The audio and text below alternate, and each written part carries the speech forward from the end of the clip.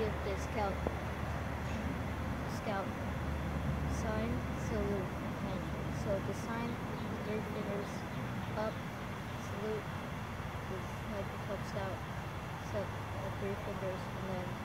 for the scout handshake, you use your left hand.